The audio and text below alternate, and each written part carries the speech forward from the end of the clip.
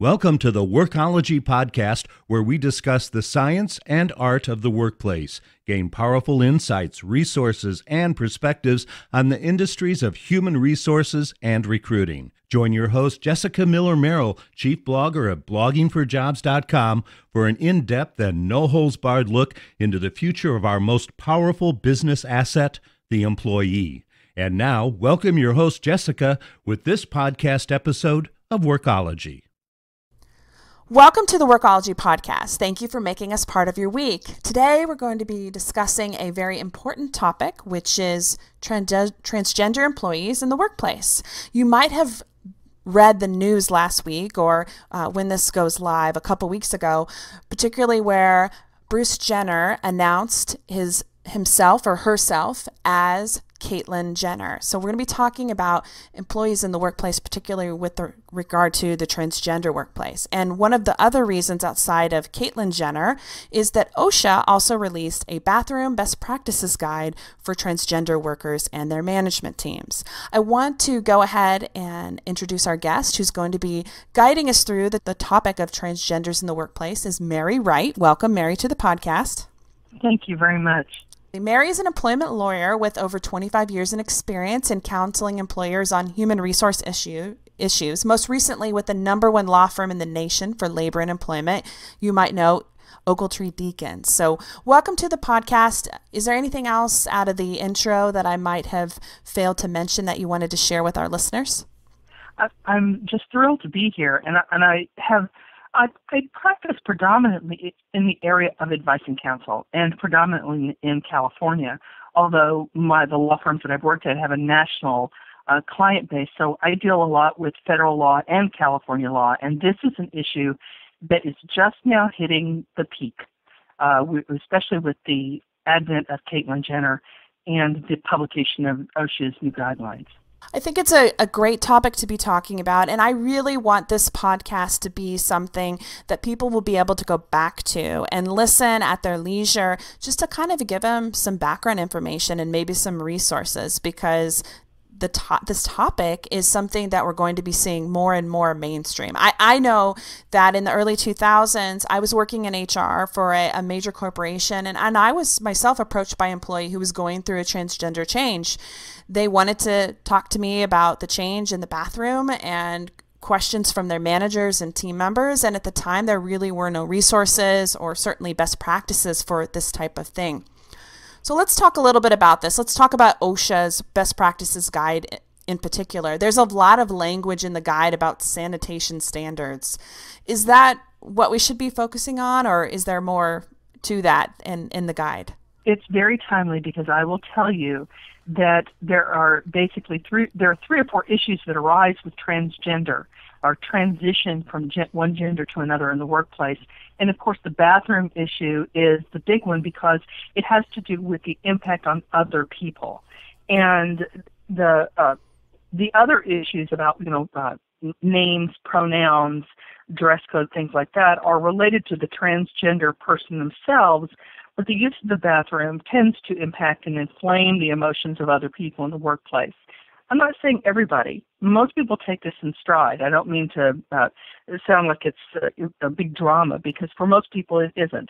We just want to be competent in the way that we deal with it. OSHA's best practice comes from this, comes at this issue, not from whether it's right or wrong to discriminate against individuals, but for an employee safety uh, viewpoint, because that's of course what OSHA is, is an occupational safety regulation. And it approaches this from the viewpoint of what's safe for the worker and what's safe for his, his or her colleagues and what's safe for the public at large having to interact with products and food or whatever manufactured by the individual. It doesn't talk about what's right or wrong or discrimination or whatever. It talks about what makes the workplace safe. Uh, OSHA recognizes that there are consequences, and we're all human beings. We all need to use the restroom, and we have a right when we're at work to have access to a sanitary facility. And you, I'm sure you've seen if you go out into rural America and you see people working in the fields, you're going to see the ubiquitous porta potty that is being pulled by a trailer so that the people who work in the fields will have access to a sanitary bathroom. The failure to have access to a sanitary bathroom causes all kinds of problems. First of all, it's a health problem to the individual because after all, we're human, we have to go to the bathroom. You, one of two things happens. You're either going to hold it, which causes all kinds of problems like urinary tract infections, bowel impaction, all kinds of health risks for the individual, or alternatively, you're going to use the restroom where you are, which causes sanitation issues not only for the person who's using the restroom, but also the workers, or including the product that could be making, um, you know, food product at a processing plant, or you know, so sanitation affects all areas. And although this isn't a law uh, specifically uh, or a best practice specifically about discrimination, it is intended to acknowledge that that people who are transgender have the right to have access to a bathroom to their transgendered identity. Meaning, if you're transgender female or transgender male, you should be entitled to use the bathroom for your target gender. Um, and just for the record, when referring to someone who's transgender, you refer to them as transgender female if their goal is female, and transgender male if their target gender is male. So during the course of this podcast, we'll be talking about transgender male and transgender female. We all want everyone to have access to the bathroom. And so the bathroom is, is probably the first and foremost question that gets asked about uh, when working, you know, addressing transgender issues in the uh, workplace. In reality, the OSHA's best practice is identifying a safety issue that impacts all workers and instructs employers on the best practice for handling transgendered employees. And it's also an acknowledgement that gender identity, gender expression, biological sex, all of those issues are all wrapped up in the transgender issue, and everyone, regardless of which you fall under, uh, is entitled to access to a sanitary facility. We're already seeing this topic beyond OSHA's guidelines being discussed in California. In January of 2014, the Su- School Success Opportunity Act passed, which provides guidance to schools so that it can make sure that transgender students, like all students, have the opportunity to select which bathroom uh, they they want to be using. So, um, if my daughter, who's now in kindergarten, and we were still in California there, uh, where we just moved back from to Oklahoma, she would have the option to be able to select with which bathroom she wanted to use, uh, regardless of if she was kindergarten all the way up to 12th grade. See, that is to build in cultural confidence and to under, to build in understanding what we need to know about gender identity in general. Because kids they don't have this cultural overlay, at least not at the age of your child, don't have a cultural overlay um, about which one they have to use, which one is expected use. You know, the easiest way to understand gender is to dissect it into sort of three different char- characteristics. One is biological sex, and that's which bits you're born with. You know, what is the physical sex characteristics that make up your body? You know, do you have a vagina? Do you have a penis? Those are very, that's your biological sex. And then there's then there's a really confusing area of the law, which in California we have as a protected class, and that is gender expression. We have the bit of one sex, our biological sex may be one, but we choose to present our gender through our actions, dress, and demeanor based upon based upon how you know our personality. Gender expression. Let's just take it a step further. If you think about Katharine Hepburn back in the I'm, I'm going to be terrible on the dates here, the 30s or 40s, when she started wearing pants on the movie set, that was a gender expression. She dressed in a way that was slightly out of character for her biological sex, but she was expressing her gender in a way that was not sort of the cultural norm.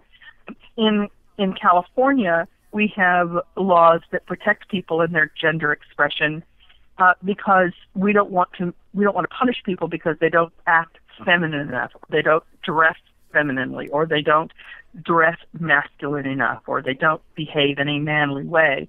Those are expressions, outward expressions of what may be going on inside a person, and and it may be um, a, an expression of what our gender identity is. And gender identity is the third thing. That's the first bio- biological sex, which is cut and dried. Which bits do you have? And then there's gender expression. Well, how are you going to express your uh, your personality, your gender personality, and the third is your actual identity, and that's how you, in your head, define your gender. Gender identity is who you who you know you are, based on how much you align or don't align um, with what is understood to be the gender norm in your culture, like Katharine Hepburn wearing pants. But gender identity is how, regardless of how culture sees you on the outside or which which uh, genitalia you were born with, how you believe you are on the inside. And gender expression and gender identity are very complicated. Um, it's the way of classifying and expressing personality uh, because our sex is tied up in what our personality is. You know, the gender expressions differ from community to community, country to country. What may be, you know, overtly feminine or masculine in one country may not be in another, such as the custom of holding hands in men in some Middle Eastern countries. That's not an expression of gender, that's an expression of, of uh, friendship. So, but in this country, in the U.S., it's an expression of our our uh, gender identity and um, our gender expression, our personality. So those are the kinds of things that we need to understand about transgender and gender identity going forward in this country. And select having children select which bathroom is an indicator of which gender expression they have and which gender identity uh, they have. And that transgender can be separate from gender identity. You don't have to be one or the other. Absolutely absolutely you can have you know there's mo- just like different personalities there are multiple multiple types of personalities there are multiple types of expressions of gender identity and gender um, expression for instance, you could be a straight female dressing as a male, a straight male dressing as a female. You could be a gay male dressing, having, you know, wearing eye makeup and earrings, and you it just it doesn't it's there are a multitude of ways of expressing your gender and what you feel about your gender. That's why we need to break down the stereotypes of the way a man is supposed to act and look, and a, a way a woman is supposed to act and look. I mean, to a certain extent, it will it will never go away because we, the majority of us, are biologically wired a certain way. But um, well, I guess we're all biologically wired a certain way. We just have different cultural norms. So. Um, but I think it, I think we're beginning to have some better understanding that just because you're born in one identity doesn't mean that you're going to stay that identity. You may be able to change gender uh, during your lifetime. You mentioned Katharine Hepburn, and a recent example would be Will, Will Smith's son, Jaden, who uh, stepped out in April in a woman's dress and then posted pictures on Instagram that he's been also shopping for some girl clothes lately.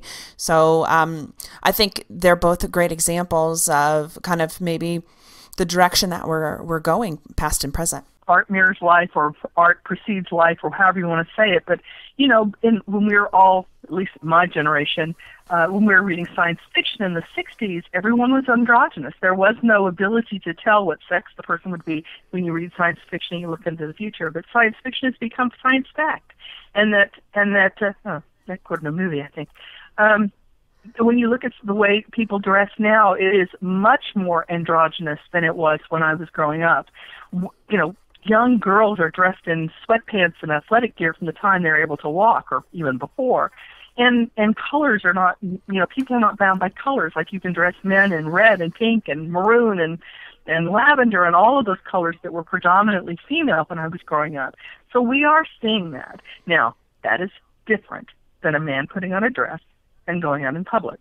That is contrary to current gender norms. But you know, if he's comfortable and that's what that's what makes him happy, and he doesn't have that gender expression tied to a cultural norm, then hey, he's on the forefront of probably what's going to come. Let's talk about some situations or maybe some issues that might occur in the workplace in regard to maybe uh, transgender employees. I, I, think retaliation is definitely one, but what kind of things might we expect if we have a situation where an employee has, has announced that they're going to be going through a transition? I wrote an article, I may even have posted on blogging for jobs, but I see five different areas in which transgender is going to have the biggest impact.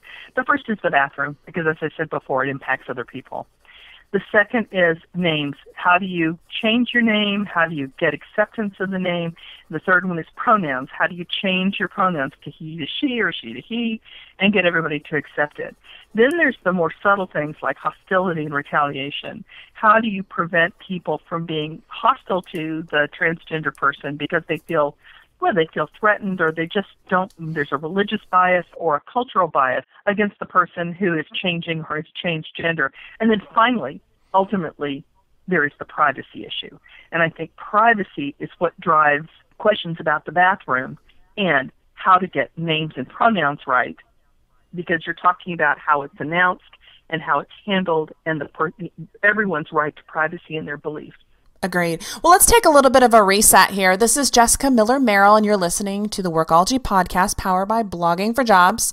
Today's topic is transgender in the workplace. And we're here with Mary Wright. You can connect with Mary on LinkedIn. It's just linkedin.com forward slash in forward slash Mary, M A R Y E W R I G H T. All right, let's get back to things here. Let's talk about some steps employers are obligated to take when an employee tells them that they are transgender and plan to go through a change. That's a good question. There isn't an awful lot in the statute or the regulations that talk about what an employer has to do. Uh, but one of the things that's interesting is that uh, I'm an advice and counsel lawyer. I spend most of my time on the phone talking to people about, you know, what is the best practice they should adopt, what, you know, what what should they do uh, to prevent a, a a problematic situation developing to prevent people from getting their feelings hurt, which of course translates into anger, and of course that translates into lawsuits. So, one of the things that I recommend, um, I have a lot of experience in handling situations in which an employee comes to me and tells me that they are, or tells the employer that they are disabled. Now, I am not equating the uh, the transition process or the transgender process to being disabled. But what I am saying is, is that when you are dealing with a person who is disabled, or who, who, presents themselves as being disabled. The employer is obligated to engage in an interactive process with that person. They have to ask some pretty you know bald questions about what the person can and cannot do and what they want to what they want to see what they want disclosed to in the workplace. And so i tell people i think the best practice and, and that works really well. I mean it's a situation where the courts have all weighed in on it the hr is trained to do that sort of thing. So it's something they feel very familiar and comfortable with that interactive process. So I tell people that when you're presented with something new in the workplace, such as someone comes to you and says, I am going to transition, or I am transitioning, or I have I am transgendered, then you engage that person in the same sort of interactive dialogue. You you don't necessarily ask them personal questions about why they did it or you know what's it like or anything like that. You're not interviewing the person for what they're feeling emotionally, but what you want to talk about is what would they like to see happen do they want it announced in the workplace? Is, should they put out an official email? Is that what you would like to see happen? Do you want us to not address it at all and let you talk to the individuals? Um, reminding them, of course, that once the employer uh, steps out of the picture of a, the announcement, it, you lose the ability to be consistent in the message. So we really, you know, try to craft some kind of announcement that can can be mutually agreed upon. You ask the person, you know, what they would like to see happen, what what they how they would like to be treated, what name they want to be called, they're going to be going by. Um, and uh, what you know what pronouns and, and all of that. So you have an interactive process with someone and you try to get consensus and of all the parties that are necessary to the agreement the supervisor the employee the uh, human resources person and you try to develop a plan for going forward. Because if you can get buy-in and consensus from all the party the transition is much easier for the person involved. It it uh, alleviates a lot of the stress that the individual is feeling.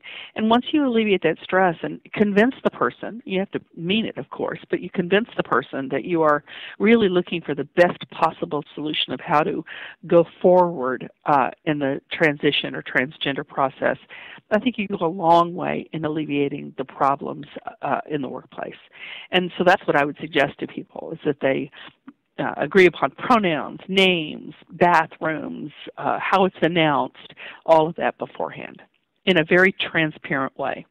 And allow the person to correct you If if if they think that that something's not being handled properly, allow them to speak up and say, "No, I'd prefer it to be handled this way instead." I'm thinking about things like some dress code change, maybe making some updates um, uh, regarding that, and then also uh, particularly like if they're going to have hospital visits or a hospital stay, uh, those kind of things would fall under FMLA. That's correct. The transition process for you know hormonal therapy and you know they have to have psychi- they have to have psychiatric counseling to determine the level of seriousness and commitment to the process, especially if they're going to have gender reassignment surgery. And they have to have uh, they have to have time off to for recovery, time off for the surgery, time off just you know for whatever whatever coping mechanism they're they're going to have to have to get through the transition process. And that would be covered under the Family and Medical Leave Act. That's the Federal Job Protection Act, Leave Act, and then there's the state act, like the California Family Rights Act, or the um, whatever state equivalent is in the state that you're living, that your readers or, or listeners are living in. And um, there can be different laws for different states, but yes, it would definitely be covered. If the surgery definitely would, and I believe that the uh, the transition time and treatment would be covered as well. You mentioned dress codes, and that brings up something really interesting. I mean, you don't discipline women for wearing pants. And I had I had someone actually ask me, you know, we would if a guy walked in wearing a dress like and he actually used the word Uncle Milty. I think your listeners are probably too young to remember it was a big shtick for Milton Berle to dress as a woman, and called, they called him Uncle Milty or something like that. But the employer asked me, we would send somebody home because this is not, you know, the a Saturday Night Review show. This is a place of employment. And I think that is a false front. I think that people need to get over themselves in that regard. I think that people can easily discern someone who's wearing a costume and is coming in to do a comedy routine versus somebody who is coming in seriously dressed as their target gender. And um, it may require some acknowledgement that there's pro- professional conduct taking into consideration are not with or with respect to cultural norms, but also in to the extent permitted or required by law with regard to other situations such as transgender and transitioning.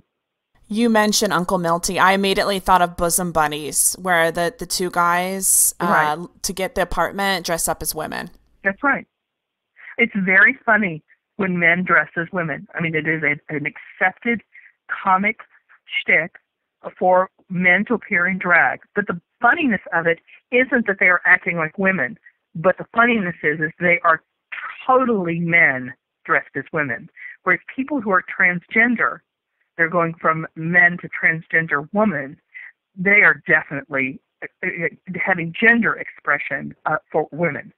Uh, they're not acting like, you know, uh, the characters in Bosom Buddies or Uncle Milty, where it's funny because look at me, I'm such a man and I'm dressed as a woman. It's exactly the opposite. Look at me, I'm a woman. I'm dressed like a woman. I'm acting like a woman. And I think that I think that it would be pretty easy to tell, and you could make accommodation for that in your policy, written policy if you felt it was necessary. I, I think you can definitely tell when you look at the, the pictures of Caitlyn Jenner. Uh, she is definitely a woman, and and not anything else.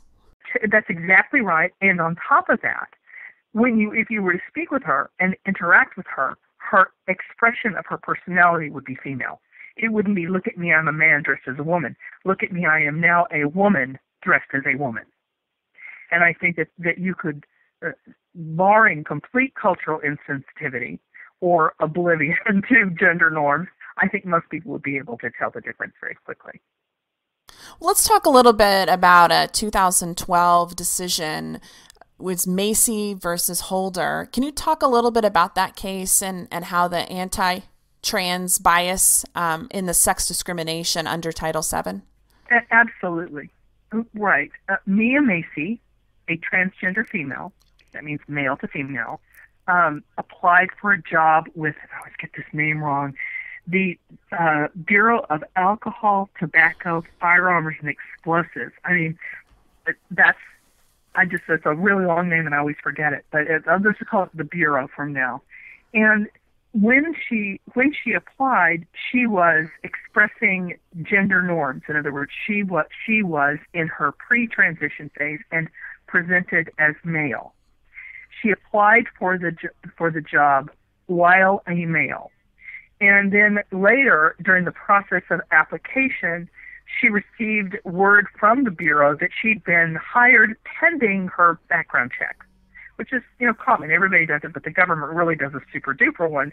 And Macy at that time told them because it was going to come out in the in the gender background or in the background check, not gender background check, the background check, it would come out that she was transitioning, and in fact, when she came back in to talk to them about it, she presented as transgender female. At that time, the Bureau withdrew the offer and told her that the position was no longer funded. In other words, it was not going to be offered to anybody. You know, unfortunately for Ms. Macy and for the Bureau, uh, th- that was quite probably a pretext because they did in fact fill the position, and it was filled by a man.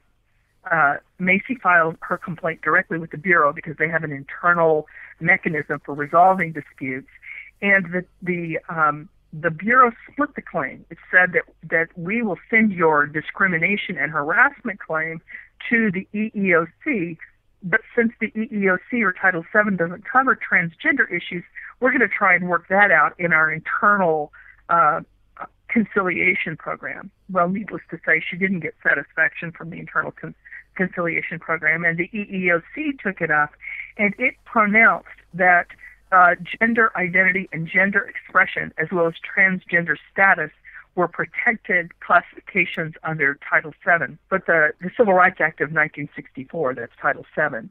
And since that time, there have been regulations and guidelines that now say that those issues create a protected classification for the individual. For the individual, pursuant to that decision, um, discrimination based on gender identity change of sex or transgender status constitutes a species of sex discrimination, which violates Title VII.